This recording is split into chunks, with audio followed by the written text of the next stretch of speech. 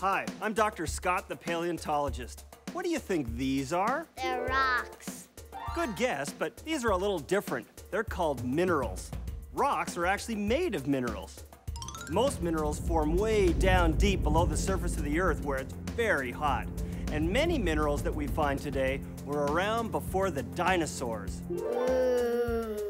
When these shiny minerals are first discovered, they're often rough and dirty, sometimes looking like broken glass. But once they're carefully cut and polished, well, they look beautiful. Beautiful. So, whenever you see a beautiful polished mineral like a diamond or a ruby, think about how it formed deep within the earth long ago, maybe even before the time of the dinosaurs. All right, remember, get outside, get into nature, and make your own discoveries.